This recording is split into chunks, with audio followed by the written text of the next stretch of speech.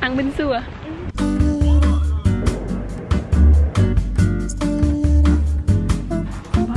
cho nó chặt Trời ơi, bảo tuyết hay gì đây?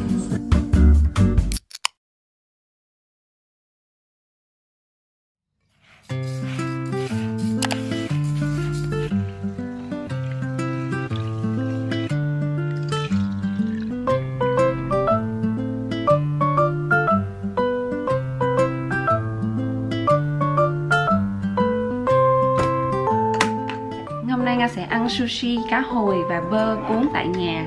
Đây là cái món rất là dễ làm, rất là nhanh Mà ăn lại ngon nữa. Cho nên Nga cũng rất hay làm mỗi khi mà mua được cá hồi ngon. Và Nga sẽ cắt cá hồi ra thành từng dải. Cố gắng cắt vuông vức để lát nữa cuốn cho nó dễ. Nga là một người cuồng ăn cá hồi mọi người ạ. Ăn cá hồi thường xuyên luôn, mì ý cá hồi, cơm cá hồi và sushi cá hồi làm tại nhà vừa vệ sinh vừa ngon vừa đảm bảo. Lát nữa mình sẽ cuốn ở trên cái thớt này luôn cho nó sẽ lau bớt nước đi. Và đây là bơ. Và mình sẽ scoop bơ ra rồi cũng cắt lát. Mấy trái bơ ở đây nhỏ xíu à được cái là nó nhiều cơm. Trời ơi nghe nhớ mấy cái trái bơ dài dài á. Ở, ở Việt Nam á có mấy trái bơ nó dài như trái bí á. Nhìn ngon ơi là ngon luôn hình như cái gọi là bơ sát đúng không? Ở đây này như thế này nó nhỏ nhưng mà cơm dày và scoop out rất là dễ. Nga hay lấy mấy hạt bơ này để trồng cây á. Ở bên đối diện Nga là cây ban công á Có mấy cây bơ đang lên rồi. Cắt lát ra. Nga nấu cơm gạo trắng trộn cùng với một chút gạo lứt Để cho nó có cái màu tím xinh xinh này nè. À, Bây giờ Nga sẽ cho một chút dầu mè. Trời ơi mùi dầu mè thơm quá. Và một chút muối Để cho nó không quá Không bị quá nhạt á Một ít thôi có nhiều người còn cho cả giấm nữa nhưng mà nó không có thích mùi giấm ở trong cái cơm. Cho nên nó chỉ ờ, cho muối và cho dầu mè thôi. Trộn thật là đều lên sau đó mình sẽ bắt đầu cuốn. Nếu như mà có gạo nhật á cuốn gạo nhật thì sẽ ngon hơn.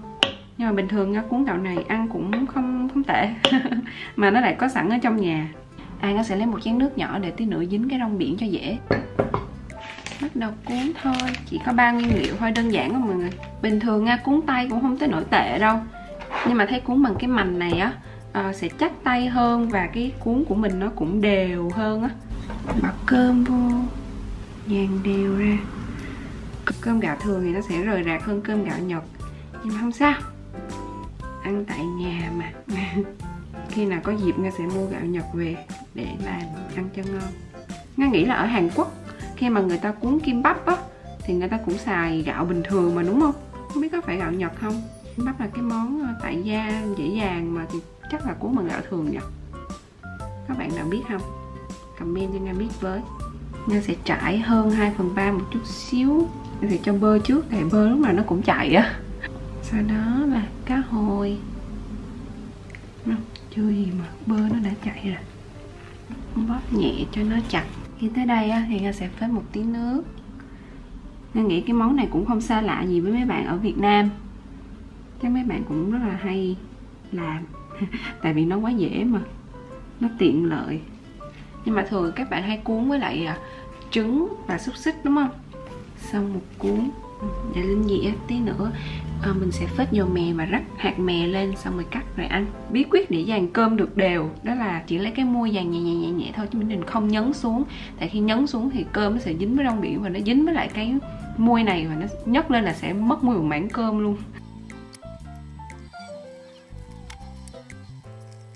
Sau khi cuốn xong thì mình sẽ phết một lớp uh, dầu mè lên cho cái cuốn nó bóng ấy. Và khi rắc mè lên thì nó sẽ không bị trôi tuột đi cái tips này nga học được khi ờ, xem quá nhiều phim Hàn Quốc đó mọi người. Xong, bây giờ mình sẽ cắt ra.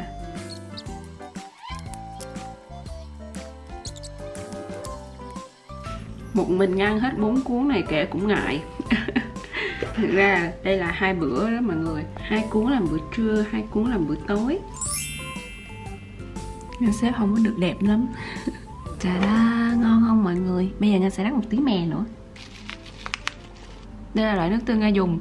Không biết là của Trung Quốc hay của Nhật, Nhưng nói chung là ăn thấy rất là giống Cái nước tương ở nhà hàng Nhật Bản á. Thì Nga mua về để ăn với lại sushi.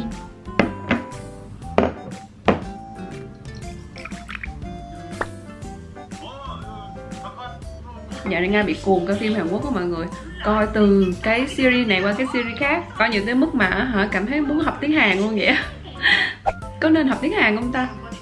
Thôi, tiếng Pháp còn chưa tới đâu Nhưng mà Nga nghĩ là nếu như tiếng Pháp của Nga có một chút cơ bản rồi á Nga sẽ bắt đầu học tiếng Hàn Tại vì thấy nó vừa dễ thương, vừa châu Á, vừa dễ nghe Mà thấy mê phim Hàn quá thôi, học tiếng Hàn Hợp lý mà đúng không?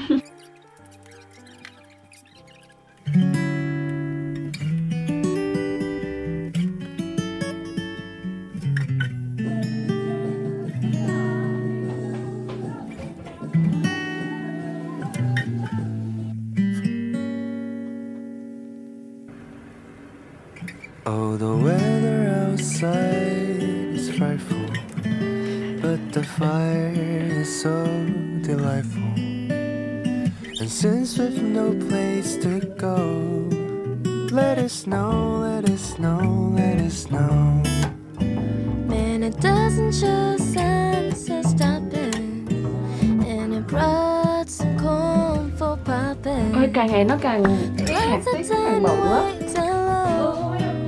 Let it snow, let it snow, let it snow. When we finally kiss goodnight,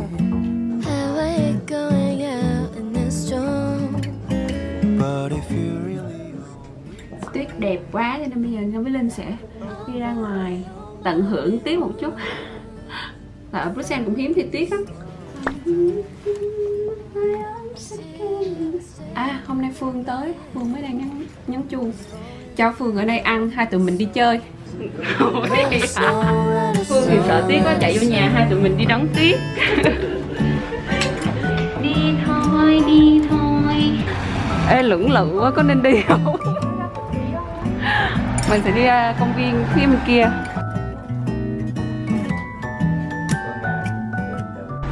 Tuyết rơi đi, tuyết rơi Tuyết rơi nhưng mà chỉ phủ được xe thôi, không phủ được đường. Linh áo Linh, nhìn Linh xinh ghê. Ôi, tuyết nó như tạt vô mặt vậy đó mọi người ơi.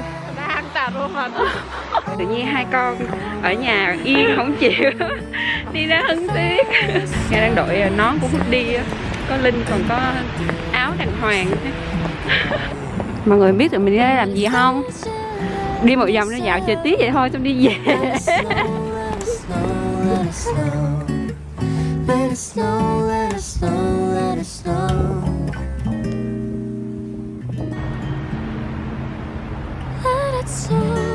Đây là chiếc công viên gần nhà Nga. Bình thường chả bao giờ ra hết đó, Lúc mà trời nắng xanh tốt Cỏ cây, hoa lá thì không đi Tuyết như chứ thầy mới đi ra thăm.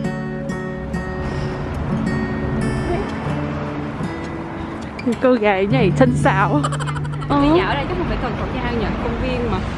Thì đang tạm thấy không có ai. À, nhưng mà tuyết phủ lên ờ, cây á nhìn đẹp ghê á. Ờ. Nhìn mấy cái lá. Ê, tự nhiên thấy mình quê mùa cũng đâu phải lần đầu tiên mình lấy tuyết đâu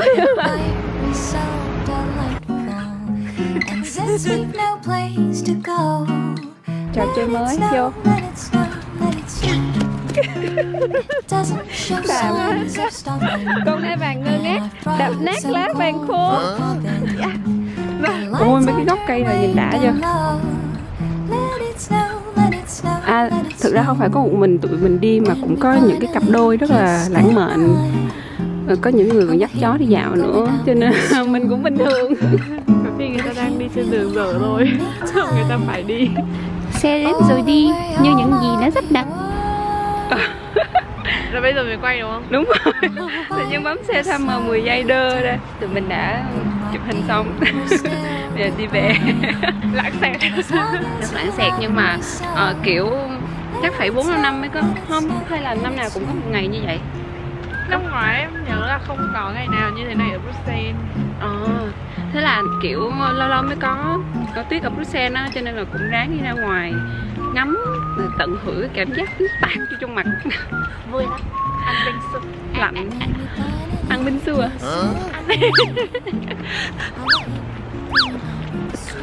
binh su binh su của tự nhiên dạo này không còn sạch đâu em. Không ăn nữa mọi người thấy đẹp không dõi ờ, photoshoot ờ, ngày hôm nay. Gửi anh người yêu xa nhớ. Rất xàm xí. Đây là trò chơi của các anh chị ờ, thập niên 80 ta Cái tên. Ừ Đó. Đấy là mọi người nghĩ thế thôi. Chứ Tôi là tôi phải viết như thế này nè.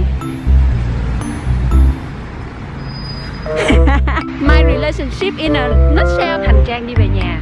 Mắc kiến. Trang. Nón Đầu tiên biết là đội nón Đáng cảm quá. Tôi lại trở thành người con gái Nga bần bần mỗi ngày. Tuyết lại rơi vào buổi tối. Tuyết rơi buổi tối nó ở dưới ánh đèn á. Nhìn nó lung linh lãng mạn hơn. Nga đang làm bánh bao mọi người ạ. Hãy nhìn những chiếc bánh bao xấu xí. À, Bánh bao lại à, phiên bản nhân thiếu cái này thiếu cái kia. À, Không có nổi cái đồ lăn bột bằng tay. Linh thì đang làm nhân một cách rất chán đời. Nặng trong sự chán đời. Tại không nó có không vào được. Không có trứng cút nha nó không blend. Nhưng mà mấy cái viên này cũng đẹp mà Nga đang ăn thử rồi mọi người cũng cũng giống bánh bao lắm. Cũng không phải là quá tệ. Một sự nỗ lực để làm cho bánh nó nhìn giống bánh bao nhưng mà mãi thì nó vẫn cứ làm sao nó không giống bánh bao lắm. Đấy, nhưng mà cũng xinh đúng không? Đây mọi người nhìn đi. Xấu vậy. Thôi tự làm vậy là được rồi ăn cũng ngon. Đó giờ đợi đây xong rồi đem đi hấp